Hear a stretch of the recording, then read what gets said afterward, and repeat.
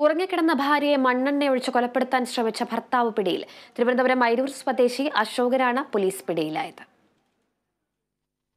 പക്ഷാഘാതം വന്ന് കാലി തളർന്നതിനാൽ ജോലി ചെയ്യാൻ കഴിയാതെ വീട്ടിൽ വിശ്രമത്തിലായിരുന്നു അശോകൻ. ഭാര്യ ലീല തൊഴിലുറപ്പ് ജോലി ചെയ്താണ് കുടുംബം നോക്കിയിരുന്നത്. അവശനായ തന്നെ ഭാര്യ ഉപേക്ഷിച്ചു പോകുമെന്ന സംശയവും ഭയവുമാണ് ഇയാളെ ക്രൂരകൃത്യത്തിന് പ്രേരിപ്പിച്ചത്. സംഭവ സമയത്ത് ഇവരുടെ മകളും ചെറുമക്കളും വീട്ടിലുണ്ടായിരുന്നു.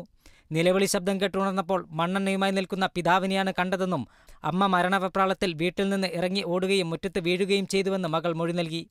നിലവിളി കേട്ട് ഓടിയെത്തിയ നാട്ടുകാർ ഉടൻ തീക്കെടുത്തി ലീലയെ തിരുവനന്തപുരം മെഡിക്കൽ കോളേജ് ആശുപത്രിയിൽ പ്രവേശിപ്പിച്ചു. പ്രവേശിപ്പിച്ചു.